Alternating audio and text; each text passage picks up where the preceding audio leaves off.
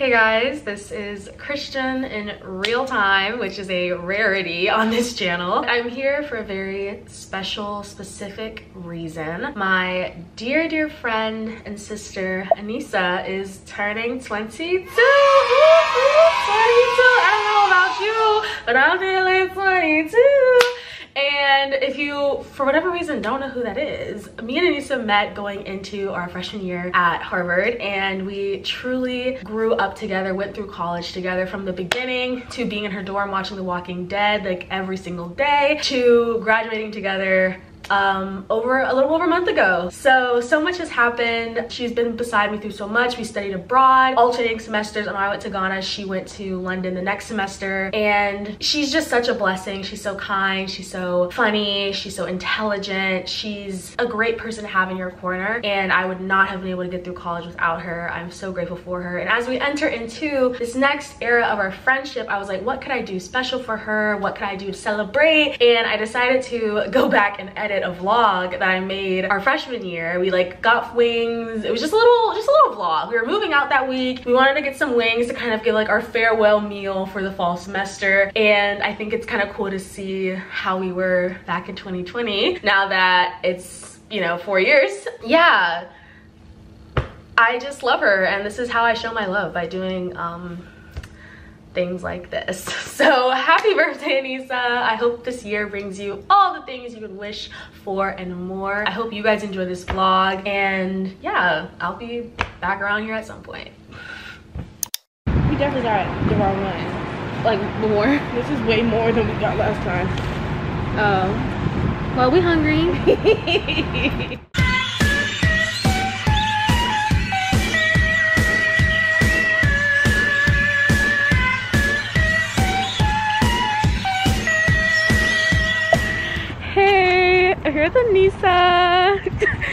it's so cold, y'all. That's why we have these coats on. Cause why is that funny? We're out here. This is like Harvard Yard. Cute. and we're gonna go get wings, like I said before. So we're walking to the train station and we have to take two trains to get to Northeastern. So that's the plan. I think that's pretty much it. Do you have anything to say to the people? No.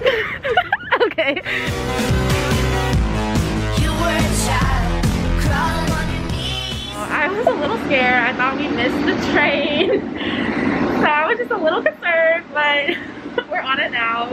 All things are good. We get off the stop at Northeastern. This is our third time third time. This is our third time coming to Northeastern for food because Harvard doesn't have very much of anything, but I can talk about that at a later time. Now it's just gonna be a little montage until we actually like sit down and get the food and then we'll come back and chit chat. Okay, we're here at Northeastern. There's Anisa, that's Northeastern over there. But we're at Wings Over to get chicken and then we're gonna go to this Korean place and get chicken there too. And I put some on my Instagram story for people to ask us questions and we're gonna sit down and answer those questions. And it's gonna be super cute.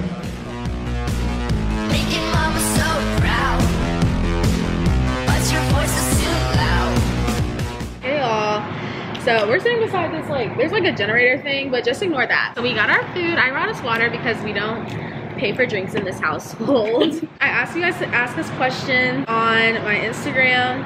And so we're just gonna answer these questions right now. So the first question from my sister, are you excited to go back home? I'm not going home because I applied for fall extension and winter recess.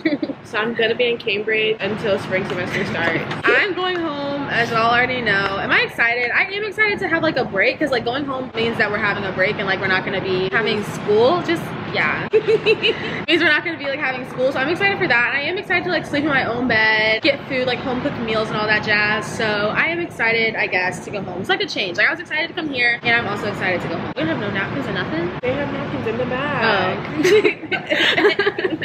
the next question i already know because i looked at my phone. It was what's it like being a black girl at a pwi i get to answer first um you have to project I mean, I mean it's not that bad you just have to make sure that like you surround yourself with vibes that you can like contain and maintain. Yeah, I agree. I think it's it definitely can feel I think it's as it's really like all of what you make it. Because like you can hang like if you hang out with black people, like if you're a black girl or like really any person of color, but since she said black girl, I'll answer black girls.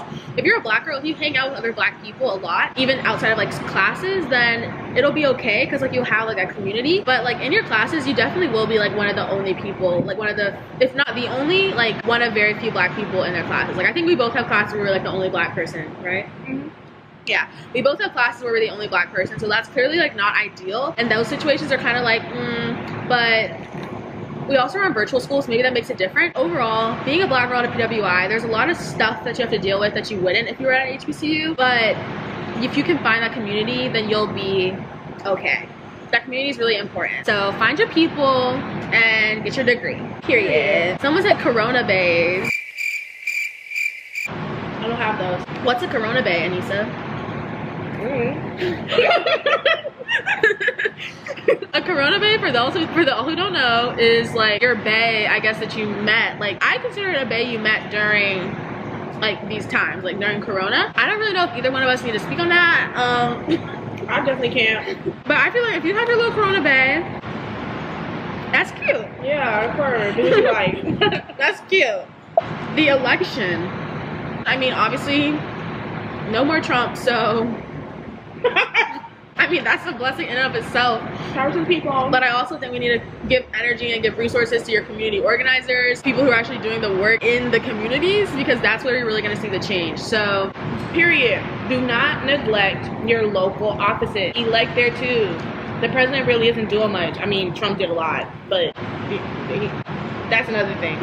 but the people that are actually making changes to like laws, like your Senate, your House of Representatives, you have to make sure to vote for that because like people are forgetting about that. So certain Mhm. parties are taking advantage of that fact and getting voted in by voters who are more aware of what's going on.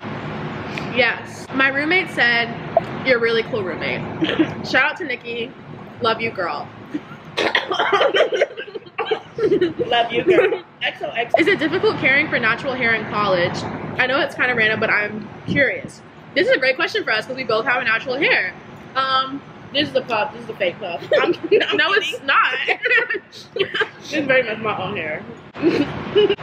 Is it difficult caring for natural hair? Honestly, I would say yes. Like, okay, I'll say if you come into college and you don't have like a natural hair care routine already, then it's gonna be difficult because you are already dealing with like the challenges of finding a routine and you're also trying to deal with like possibly communal bathrooms, really tiny bathrooms, like if you have an in-suite one. And so that could be difficult. I came in like already having a routine and I would recommend getting a protective style, at least for some of the time, because you're not gonna wanna wake up and do your hair every single day. For me, it wasn't really that difficult considering that like I came in with goals with my hair and I think that's something that you really have to like make sure to have. Like if you come to co- college and you don't really understand how to do your hair, then it's definitely gonna be a difficult Mhm. change because like one, you don't have your own bathroom to like throw products away. Two, price changes may Mm. really affect that. Oh my gosh, wait.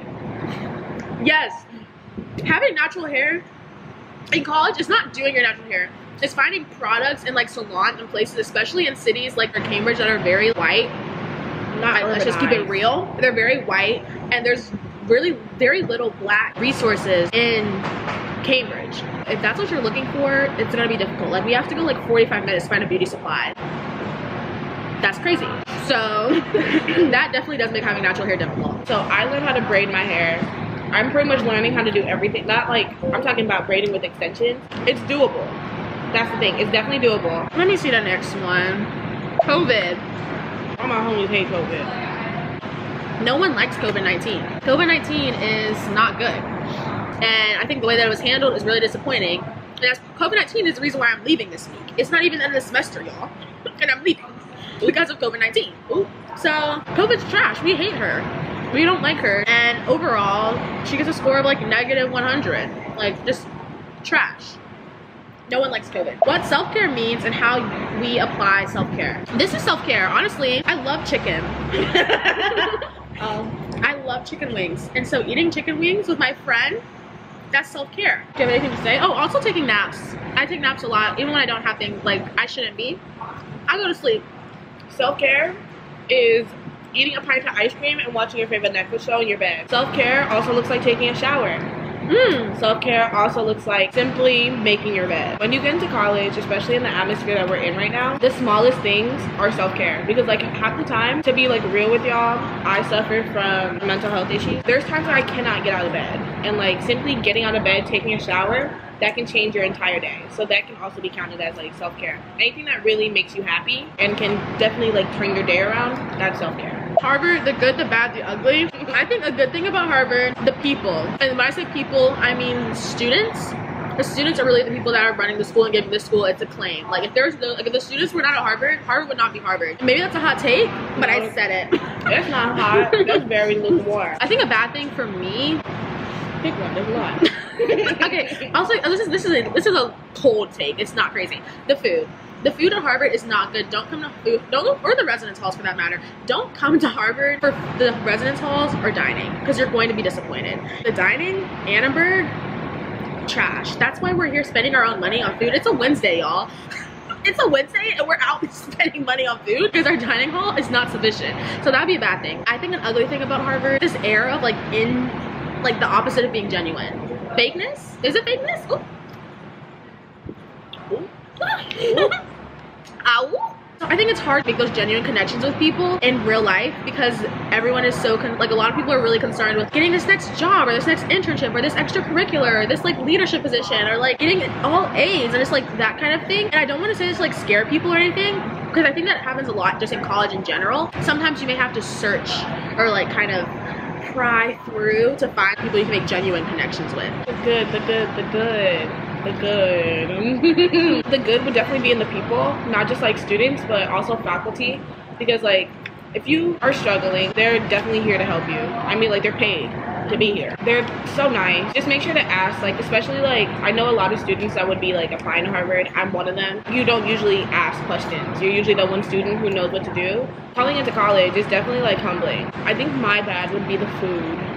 It's actually atrocious. It's not good. And we love, we love the HUDS staff. We Mhm. love the HUDS, we love the custodial, but the food. We love the workers. We love the workers, but the not product- the product. It's a no. It's, It's a definitely a no. Um, everything about it is a no. The ugly. Ooh. I think it would not be like the fact that people are ingenuine. I think it's the fact that people try to cover up the fact that they have privilege by trying to act as though they don't have privilege. Because like one thing you will know about Harvard is that there are rich students. I may not be one of them, but there are rich students. Yeah. And, like they. Because like that's the stereotype is that everyone at Harvard is rich, mm -hmm. but that's not the case. Right. But people who are rich like don't want you to know that they're rich. Yeah, but you can see it, especially during like this pandemic. You can see it in the fact that they're eating out almost every night. I cannot afford to eat out every night, and that like wealth gap shows because like there's students that are like we have like there's some students who have to eat Annenberg. And Annenberg is just not that good, but then they see like their counterparts going out to eat to restaurants every single night. I think the very last question: music suggestions or any kind of faves at the moment. Stream Hope Tala if you don't already. She's R&B, kind of indie. Her voice is just everything. She just released an album. She's great. I love her. I will always have a thing for her. Hmm. Yeah. My music, I don't even really know. I guess if you want to see any of the music I'm listening to, you should add me on Spotify. Put it in the description box below. Other faves, I really liked Ratched on Netflix. I finished that like pretty fast. Hollywood the is most- good. Yes, Hollywood is so good. I finished that such a long time ago, but that was really really good. For any of those who watch anime, this depends on your age. Middle school and up, there's like Promise Neverland on Netflix. So far, it's great, delicious, scrumptious, delicious. Beautiful. And then there's also the assassin, like Assassination Classroom, Attack on Titan, things like that. Will keep you occupied for a long time because they are long. That was our little miniature mukbang. Not really miniature, it's long, but that was our little mukbang, our little question and answer. Hope you guys enjoyed it. We're gonna finish eating and then we're gonna go back to campus because like it's dark. We're going back to Harvard now. I think I'm gonna go to Insomnia because I'm feeling kind of like in an insomnia mood, you know? You're never not in an insomnia mood. That's my everyday mood, but I feel like extra special now. Yeah, we don't actually do schoolwork. That's the biggest, the biggest, um, I don't even know what to say. Scam. Scam, lie, farce, fallacy, I don't know. So yeah, we don't do homework. We just sleep and eat food. hey, we're back in Cambridge, Harvard Square. We're going to Insomnia, I already said that. And so I'll give you guys a little walkthrough of Harvard Square. So you can see how it looks. I mean, I guess it's like cute if you've never seen it before. I guess. We like to watch you laughing. You pick the insects off place. Cookies secured. ah, Probably gonna be the end of my little day today. Um, y'all saw our adventure though. cold it is. 28 degrees. It's It's freezing. freezing. Yeah, but it's very cold. Our hands are chilly. This is gonna be the end of today. And yes, gonna eat these cookies now. Bye.